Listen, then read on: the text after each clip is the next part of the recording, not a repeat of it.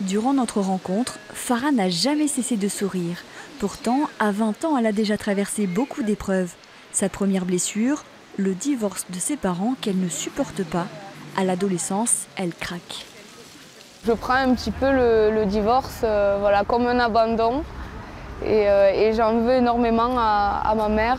Je deviens un petit peu compliquée, je lui en veux, je lui montre et, euh, donc je, je vais finir par être placée en foyer. Albi, Perpignan, elle passera plusieurs mois dans ses foyers de l'enfance. À 16 ans, elle répond à une annonce pour une mission de service civique au Secours catholique.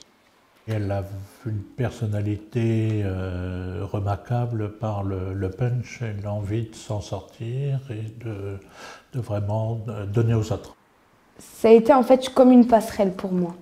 Je passais euh, ben, du foyer de l'enfance, euh, où ça a été très très mouvementé, très, très mauvais, mauvaise expérience pour moi, à un statut un petit peu plus valorisant, où j'étais ben, en service civique, dans le milieu associatif, je servais à quelque chose.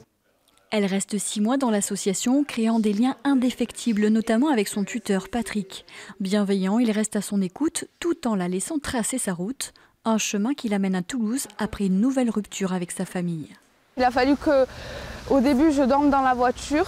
Je me suis après tournée vers des assistantes sociales euh, qui me fermaient la porte, entre guillemets, parce que j'étais pas forcément de leur secteur.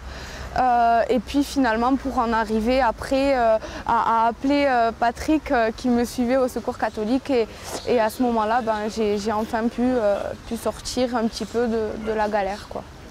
Farah vient de réussir la première épreuve au concours d'agent de la fonction publique. Cette fois, la vie pourrait bien lui sourire.